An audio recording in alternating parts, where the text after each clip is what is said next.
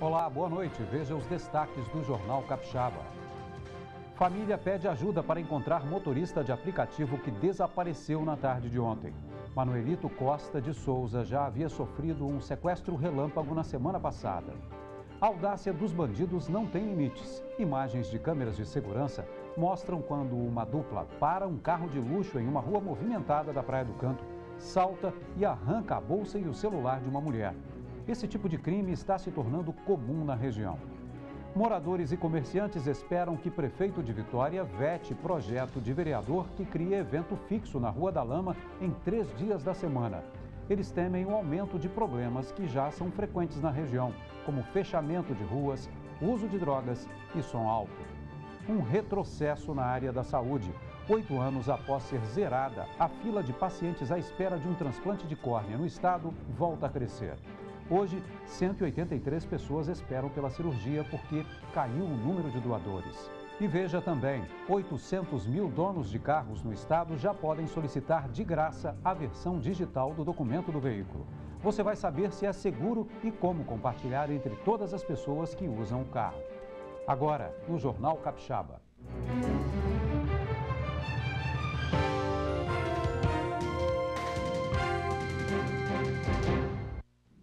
O motorista de aplicativo Manuelito Costa de Souza está desaparecido desde a tarde de ontem. Ele foi visto pela última vez pela esposa no bairro de Fátima, na Serra.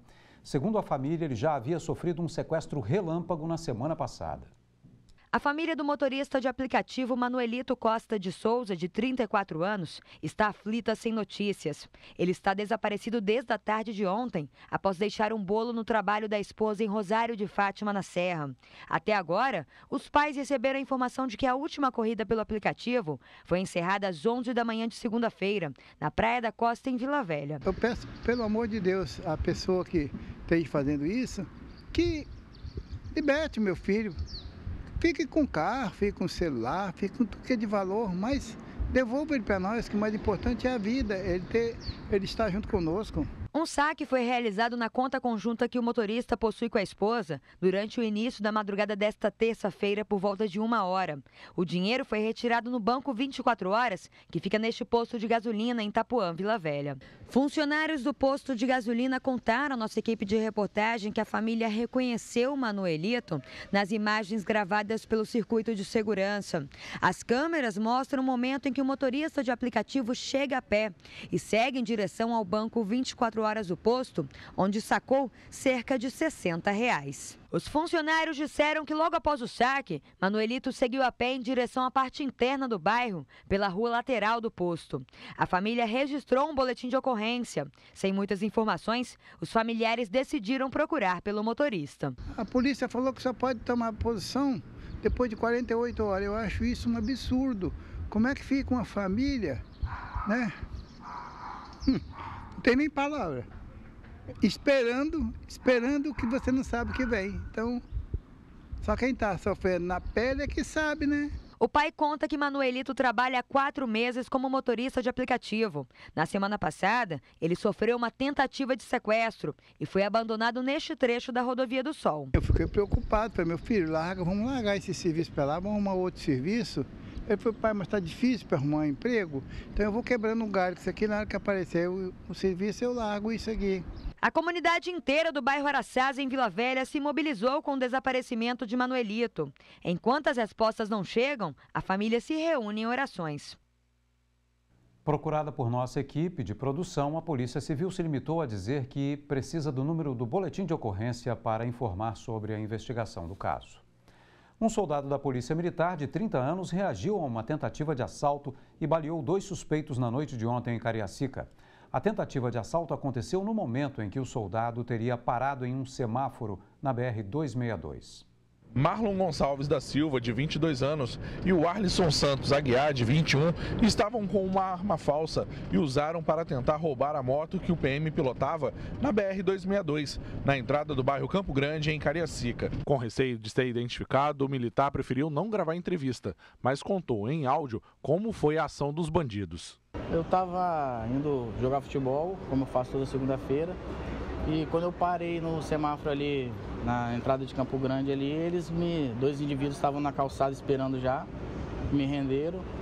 E na hora que eles me renderam, entreguei a moto e logo em seguida já me identifiquei como policial. Quando eu me identifiquei, eles apontaram a arma para mim, com menção de atirar. Foi onde eu eu consegui fazer os disparos. Um dos homens baleados pelo policial militar caiu neste local. Marcas de sangue e roupas ainda estão aqui. O outro homem conseguiu fugir naquela direção, mesmo baleado, mas foi preso atrás do estádio Kleber Andrade. Há cinco meses, outra dupla teve o mesmo destino: o Hospital Estadual de Urgência e Emergência, o antigo São Lucas, quando tentou roubar o carro que o soldado estava. Foi parecida a situação, eu consegui, me identifiquei, eles também é, tentaram atirar contra mim e aí eu consegui balear os dois. Os dois homens continuam internados no hospital, escoltados por policiais militares. Depois de receber alta, eles serão encaminhados ao presídio. Imagens de câmeras de segurança flagraram a audácia de bandidos. Uma dupla para um carro de luxo em uma rua da Praia do Canto, salta e arranca a bolsa e o celular de uma mulher que esperava para entrar em um prédio. Moradores cobram soluções da polícia para mudar a sensação de insegurança no bairro. Reparem na cena. O vídeo foi registrado ontem. Esse carro escuro de luxo para em uma vaga de estacionamento. Essa mulher aparece caminhando e falando ao celular. Quando ela aciona o interfone do prédio, a dupla entra em ação. Os criminosos arrancam um celular da mão da vítima e a bolsa do ombro dela. Moradores e comerciantes da Praia do Canto dizem que essa cena tem se tornado comum. Roubos ao comércio, mas principalmente contra pedestres, estão tirando o sossego de quem anda por um dos bairros de alto padrão de Vitória. Nas últimas três semanas, a gente notou um aumento excessivo do número de crimes. É um crime típico que acontece aqui. São pessoas que estão andando na rua, que são abordadas ou por moto, ou por carro, ou bicicleta, né? E são levados bolsas, celulares. É um tipo de crime rápido, que não é planejado, é um crime de oportunidade, né? A gente tem inclusive pregado muito para as pessoas ficarem cada vez mais atentas, mas é tipo de uma situação que não pode continuar. Né? A gente mora num bairro em que ele é muito visado pelo poder aquisitivo das pessoas que circulam, que moram aqui, e a gente tem uma reunião hoje justamente para dar um basta nisso. Esse engenheiro diz que evita circular pelas ruas do bairro em certos horários. Durante o dia a gente ainda é, tem uma certa segurança, né? Mas principalmente no início da manhã, ali em torno de 6h30, 6h20, né? E no final da tarde, acho que eu já evito mais assim. A Polícia Militar afirma que os crimes contra o patrimônio caíram 25% neste semestre em comparação ao ano passado mas quem faz a economia do bairro movimentar não tem essa sensação. É extremamente negativo para o bairro, tá? Eu gostaria de estar aqui falando com você sobre a diminuição das ocorrências, de como o bairro é bom para estar circulando, para lazer e consumo, mas infelizmente é uma situação que está acontecendo, mas que a gente tem como reverter. Isso aí basta a gente estar trabalhando em conjunto com o poder público, sociedade civil organizada poder público, para a gente reverter esse quadro. Essa mulher é moradora do bairro conta que já foi alvo de criminosos duas vezes. Eles cercam a gente, né? Na verdade, eles cercam, ficam nas esquinas, né? Aí avançam, arrancam sua bolsa, o seu celular, o que você tiver na mão, eles arrancam, entendeu? Normalmente estão com facas, com algum objeto cortante. Então a gente até evita sair determinadas horas do dia, chega assim, depois das 18 horas, a gente, a maioria já, aqui já está se recolhendo, né? Porque realmente está muito perigoso. No mês passado, outra câmera de segurança mostrou ação semelhante. Criminosos chegam em um carro roubado, abordam uma mulher, apontam uma arma e levam a bolsa.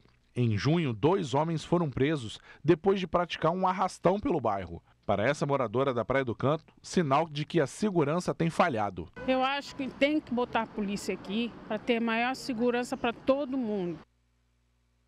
Neste momento acontece uma reunião na Igreja Santa Rita entre moradores, comerciantes e representantes das polícias civil e militar para discutir ações preventivas e de investigação de crimes na Praia do Canto. Dois dos três tripulantes socorridos após passarem mal no navio AP do Brava tiveram alta na manhã de hoje. Eles estavam em um hospital particular em Vila Velha. O terceiro tripulante continua internado em Cariacica.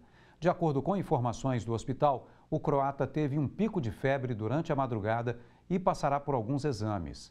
Dois tripulantes morreram no acidente e os corpos seguem no Departamento Médico Legal. O resultado dos exames para apontar o que provocou a intoxicação ainda não foi divulgado. Um projeto de lei aprovado pela Câmara de Vereadores de Vitória vem gerando polêmica. Ele cria um evento fixo na Rua da Lama, em Jardim da Penha, em três dias da semana. Alguns moradores e comerciantes querem que o prefeito Luciano Rezende vete o projeto porque temem que não haja segurança suficiente para conter problemas que já são frequentes na região, como fechamento de ruas, uso de drogas e som alto. No entanto, a ideia do veto não é unânime. Outros comerciantes acreditam que a lei poderia contribuir para a cultura e a economia da região.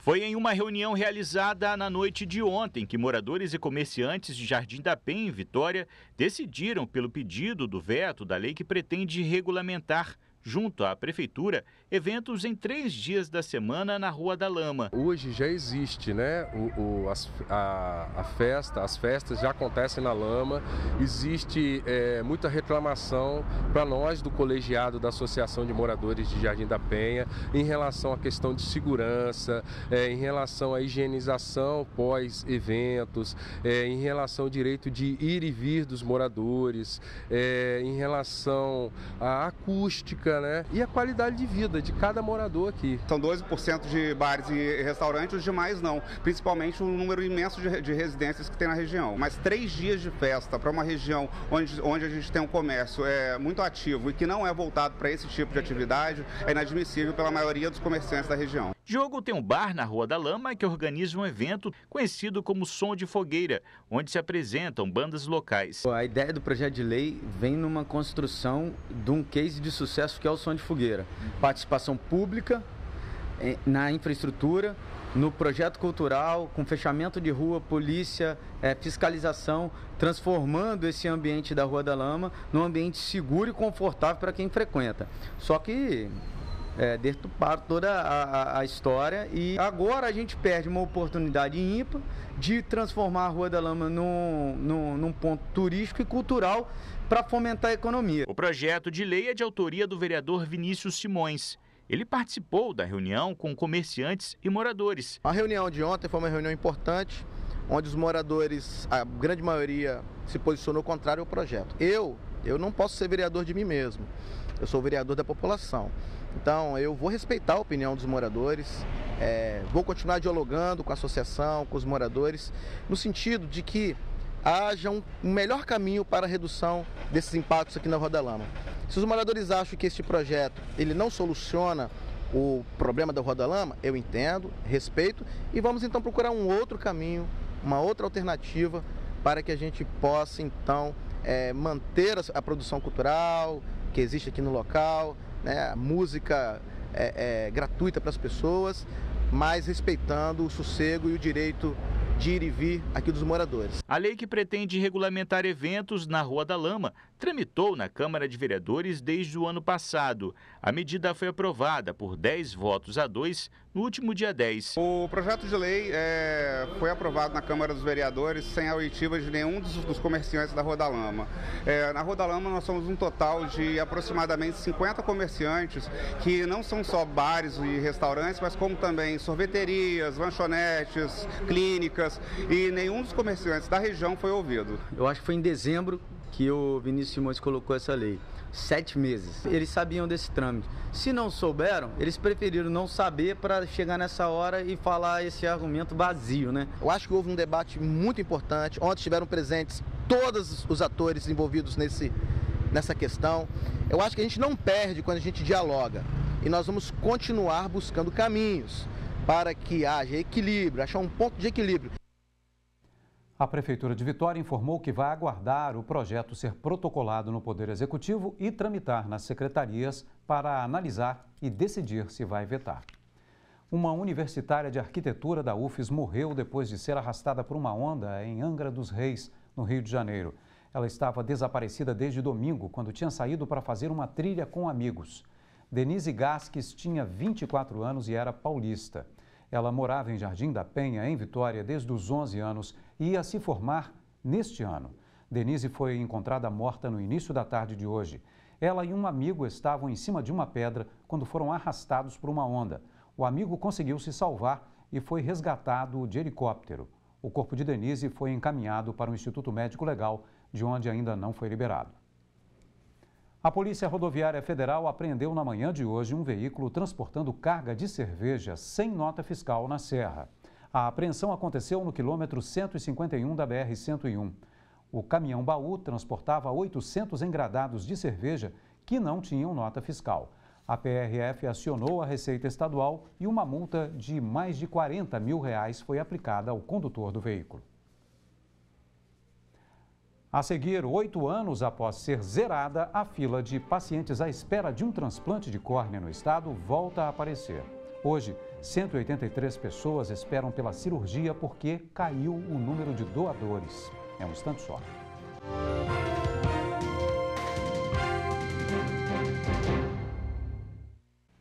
Ondas de até 4 metros de altura devem continuar a ser registradas no litoral do estado até amanhã, segundo a Marinha.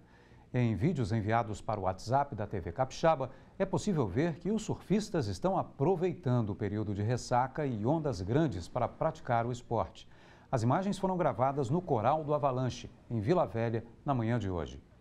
Amanhã, as temperaturas seguem entre 17 e 27 graus na Grande Vitória, sem previsão de chuva. Na região serrana, os termômetros podem marcar mínima de 14 graus em Domingos Martins. Oito anos após ser zerada, a fila de pacientes à espera de um transplante de córnea no estado volta a subir. Hoje, 183 pessoas esperam pela cirurgia. Para diminuir esse número, especialistas afirmam que é preciso realizar campanhas educativas sobre a importância da doação. Quem aguarda na fila do transplante sabe bem a angústia que é esperar pelo ato de amor de quem perdeu um familiar. A ansiedade de Lorena tem uma explicação.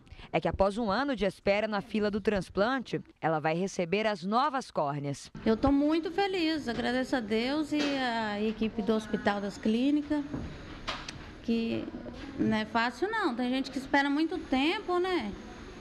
Deus ajudou. A dona de casa possui ceratocone, uma doença genética que tem deixado a vista dela mais turva com o passar do tempo. Mãe de duas crianças, as atividades diárias estão cada vez mais difíceis. Muito difícil, igual eu mexo com a casa, assim, comida, às vezes eu vou cozinhar, me bate uma dor de cabeça, dor no olho, é complicado. O transplante, segundo Lorena, deve ser feito antes que a pessoa perca totalmente a visão. Há 15 anos, ela conseguiu um transplante para o olho de direito, mas agora a doença voltou e também atingiu a outra vista. A doença voltou de novo, vou ter que fazer o transplante de novo. Mas agora nós vamos mexer na esquerda, porque a esquerda eu enxergo só um metro. É Tá fraca demais. Neste ano, 58 transplantes de córnea foram realizados no Hospital das Clínicas, mas 183 pessoas ainda aguardam em todo o estado. Uma fila que chegou a ser zerada em 2011. O motivo para o aumento da fila de espera para transplantes de córnea, segundo este oftalmologista do Hospital das Clínicas, é a falta de campanhas educativas que expliquem a importância da doação. Nós precisamos de campanha para chegar até o nosso paciente, para que ele seja responsável responsável pela doação. As famílias precisam de mais informação. O que nós precisamos é educar a nossa população em relação à doação de órgãos. Se bem educado, você tem medo do desconhecido, você não sabe o que vai acontecer, você não doa. Mas se você tem noção do que vai acontecer, você vai doar. Muitas famílias não autorizam a doação por não saber se a pessoa que faleceu tinha o desejo de doar. A retirada da córnea pode ser feita em até seis horas após a morte. E um doador ajuda até duas pessoas. Nós temos uma equipe aqui no Banco de Olhos. Essa equipe vai aborda a família assim que seu ente querido falece, conversa com a família, solicita a doação. A família aceitando, a equipe faz a captação do órgão, não há deformidade do rosto do paciente, podem ficar tranquilos, não existe isso é totalmente reconstruído. Um paciente que doar, ele ajuda dois outros pacientes, né? Os dois olhos, então, as duas córneas beneficiam dois outros pacientes. A gente precisa mesmo de campanha, é de incentivo, é de, de educar a nossa população em relação a isso. O brasileiro é solidário, ele consegue fazer isso. A gente consegue, mas precisamos de campanha, precisamos de ajuda. As pessoas têm que se conscientizar e doar, né? Ser doador, porque é muito importante a gente ter a visão. Não pode doar córneas quem teve linfomas, leucemias, hepatite B ou C, HIV, infecção generalizada, endocardite bacteriana, raiva, sífilis, leptospirose e morte por causa desconhecida. A lei que proíbe a cobrança da taxa de conveniência na compra de ingressos pela internet para eventos no Espírito Santo sofreu uma alteração hoje na Assembleia Legislativa. O novo texto determina que, se a organização do evento oferecer a venda de ingressos em um ponto físico, poderá cobrar a taxa de pessoas que queiram comprar bilhetes pela internet. Mas a venda física deverá ser feita sem taxa. A mudança foi publicada no Diário Oficial e vale imediatamente. Veja no próximo bloco: donos de veículos no estado já podem usar o certificado digital de registro e licenciamento do automóvel. A versão eletrônica é gratuita e está disponível junto com a CNH digital. A gente volta já.